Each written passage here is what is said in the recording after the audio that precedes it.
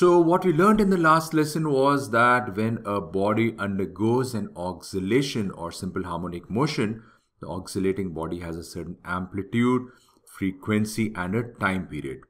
Now, in this lesson, we'll try to connect the displacement x of such a body with time through an equation.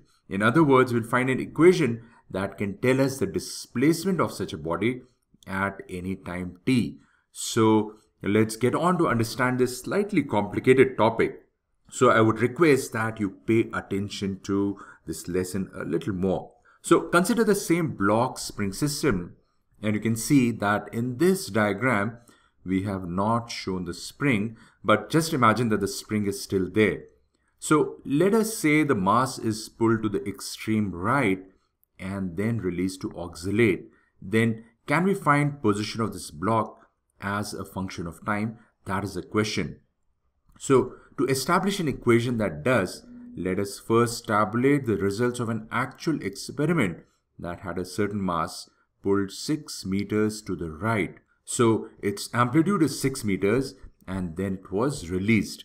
So the displacement x of the block was measured relative to the equilibrium position and this is what was found. At time t equal to 0, you can see that its position is 6 meters. Then at t equal to 1 second, its position was found to be 4.24 meters. And then at t equal to 2 seconds, its position was found to be x is equal to 0 meters. At t equal to 3 seconds, the x position was minus 4.25 meters. At t equal to 4 seconds, x was found to be minus 6 meters. That is, you can say it had moved to the extreme left and so it started moving back such that at t equal to 5 seconds, x was equal to minus 4.24 meters. Then at t equal to 6 seconds, its position was 0.01 meters or almost at the equilibrium position. Then at t equal to 7 seconds, its position was 4.25 meters. And at t equal to 8 seconds, x was again 6 meters or you can say it was back to its original position. So this is how the position of the mass looks at various times between t equal to 0 seconds and t equal to 8 seconds when the mass comes back to its original position. So let us try to plot the position of this mass with respect to time so that you have time on this axis and the position on this axis. So we can see at time t equal to 0, its position is 6 meters. At time t equal to 1 seconds, it's 4.24 meters. So it'll be somewhere over here. And then at time t equal to 2 seconds, it is at 0 meter mark, which is therefore over here. And at time t equal to 3 seconds, it is at minus 4.25 meters, which should be somewhere over here. And at time t equal to 4 seconds, it is at minus 6 meters or the extreme left and then at time t equal to 5 seconds it is again at minus 4.24 meters or roughly somewhere over here. And at t equal to 6 seconds it is at 0.01 meter mark which is you can see almost over here let us say. And at t equal to 7 seconds it is at 4.25 meters which should be over here. And at t equal to 8 seconds it is at 6 meters which is this. So let us connect these dots and see how the graph looks like. So it should be, let's go ahead and connect it with a smooth curve and you would see the graph roughly looks something like this. And what you can also see is that if you join the position of the mass at various times, you'll get a graph pretty much like this. So this is what you call a sine curve. and you're getting exactly the same sine curve over here also where you're actually putting the position of the mass with respect to time. So one thing you'll quickly see is that the mass comes back to its initial position that is x equal to plus 6 meters in 8 seconds. This therefore means that the time period t of the mass is 8 seconds. So you see this curve defines the time displacement relationship for this mass for one cycle of simple harmonic motion well, if you continue plotting the values, what you'll get is this. So what I've done is taken some more time values and the corresponding x values or displacement values and put them in an Excel sheet and plotted a graph over here. And well, if you continue for more values of x as time t passes, this is what you get. So I've taken time values right up to 24 seconds and found the corresponding x values and plotted them on this graph. And such a graph is what you call a sine graph and this wave pattern is called a sinusoidal wave. And if the relationship between displacement and time is sinusoidal in nature, that is, it looks like such a graph, it is termed as a simple harmonic motion. Conversely, if the nature of motion is simple harmonic, the displacement time graph would be a sine wave and would look like this. So from this graph, you can see that if an ideal oscillation is done, that is, there is no friction, the time period would be 8 seconds for each cycle and each of these sections you see here is one cycle. So we can say that end of 8 seconds, one cycle has been completed. At end of 16 seconds, two cycles have been completed. And at end of 24 seconds, three cycles have happened. Now, the problem is that we cannot really keep experimenting and plotting values of x for various times. What we need is an equation that represents this graph or in other words, you can say that we need a relationship between time and displacement in which if you plug the time value, you can find the displacement value x. So the equation x is equal to a cos 2 pi t upon t accurately defines this graph. So let's go ahead and write this general equation. x is equal to a cos 2 pi t upon t.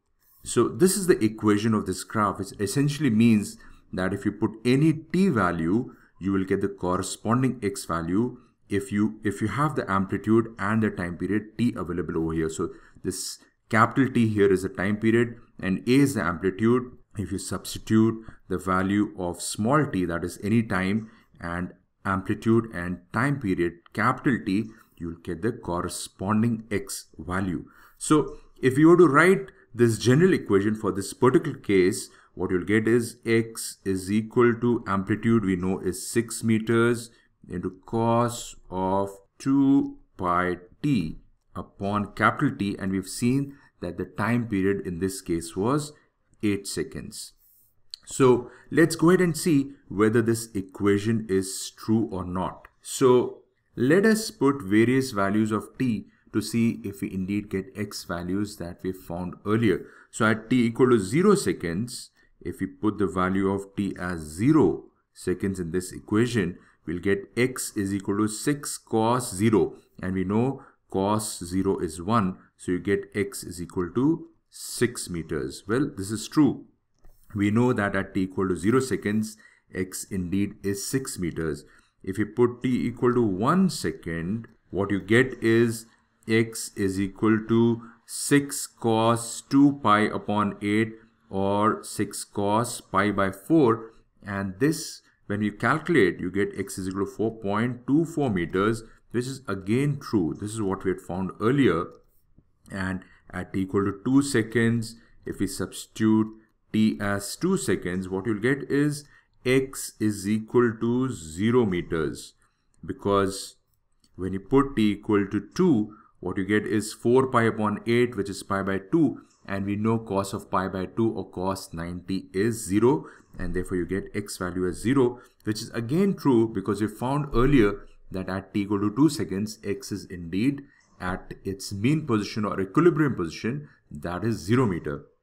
Let's go ahead and find what is the displacement value when t is equal to 4 seconds. And when you put t is equal to 4 seconds, what you find is the value you get here is 2 pi into 4 which is 8 pi and therefore it becomes cos pi and we know cos pi is again equal to 1 and therefore you get x is equal to 6 meters. And if you continue putting values and let's go ahead and put straight away t is equal to 8 seconds, what you'll find is x is once again equal to 6 meters which is again true because at t equal to 8 seconds the body or the mass has completed one cycle and come back to its original position which was 6 meters.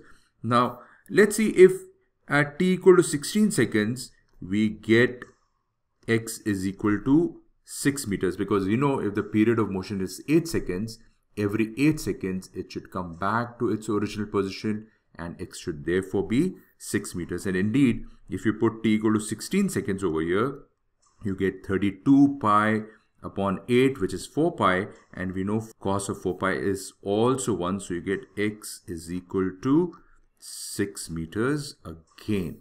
And I'm sorry here x was actually minus 6 meters. So you see at t equal to 16 seconds you're getting x again as 6 meters which essentially means that end of two time periods that is 8 plus 8 the mass is again back in its initial position so it's, it's really great to have this very convenient equation that can be used to determine x values for various time values or vice versa and we do not quite have to get in the mess of making graphs and doing actual experiments. Well, there's a small problem here. What if I said that the box did not start from extreme right position but from the middle? So what we're saying is that at time t equal to 0, x is 0 meters. Unlike the earlier situation where at time t equal to 0 seconds, x was equal to plus 6 meters. Will, will this equation that we've written over here, will this hold true for this situation as well? So let's go ahead and find whether it will be true or not. So we put x is equal to 6 cos 2 pi into 0 time t is equal to 0 upon 8 and what we find is x is equal to 6 meters. Well, you can see this is not true because at time t equal to 0, we've put t equal to 0, the displacement is actually 0 meter or the mass is actually at its equilibrium position. So we can say that this equation is not really true when the mass starts from the equilibrium position or from the middle. So we need a modified form of equation that can also take care of the change in position that we just made. That is the mass starts from the middle instead of extreme right. So what if we change this equation to this? So we write this equation as x is equal to 6 cos 2 pi t upon 8 and we add pi by 2 radians over here.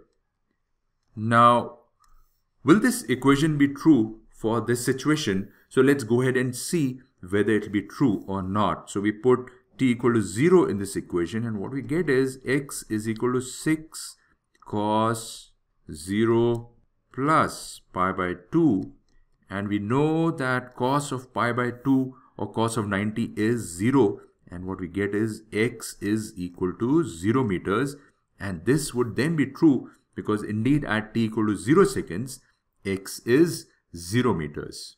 So now let us say if the block instead of starting from the extreme right or the middle actually started its journey from extreme left. That is at t equal to 0 x was minus 6 meters. Would this equation hold? Again, we know that this equation will not hold because if we put t equal to 0 over here, what we get is x is equal to 6 meters while x should have been minus 6 meters. So can we find an equation which will describe the motion of this mass if it starts from x equal to minus 6 meters or from extreme left? So let's try this equation where we write x is equal to 6 cos 2 pi by 8t plus pi. So instead of pi by 2, now we've put a pi value. And let's see if this equation would fit into a situation where the mass moves from extreme left. So we put x is equal to 6 cos 2 pi by 8 and time t here is 0 seconds into 0 plus pi. And what we find is x now equals 6 cos pi. And we know cos of pi is minus 1 and this therefore equals minus 6 meters. And indeed we've got the right value of x as minus 6 meters when time t is 0. So this equation now describes this situation very well.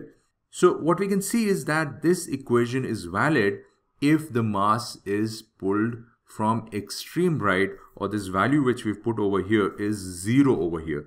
So we need a form of equation which can be written like this. That is x is equal to a cos 2 pi t upon t plus a certain angle phi where phi would be the relevant angle to be put depending on the where mass starts its journey. So when the mass started its journey from extreme right, phi becomes 0. When it started from the middle, phi became pi by 2. And when it started journey from extreme left, phi was pi degree. So this phi value is called the phase angle and helps us write the correct equation depending on where the mass starts at time t equal to 0. You can also say that the phase angle determines what phase of journey is the mass when it starts. Alternately, if the phase angle is given, we can tell that what the position of the mass is when it started its journey. Now, we've also learned from earlier lesson that 2 pi upon t is nothing but omega. So this equation is very often very commonly written as x is equal to a cos omega t plus phi. And we'll make use of this equation a lot in the following lessons. But what's important for you is to understand the physical significance of this equation, what are the various terms in it, and how they relate to the real situation where a mass is oscillating. So what I would suggest is this is a slightly complicated list. If you've not understood a good part of it, it's absolutely okay. Don't get too worried. I suggest you watch this lesson once again and read up your books also. And I think you'll get a very good understanding of what a sine wave is or how the displacement of a mass relates to time when it is oscillating under simple harmonic motion. So if you like this video, go ahead and give it a thumbs up and please do not forget to subscribe to this channel for many more interesting videos.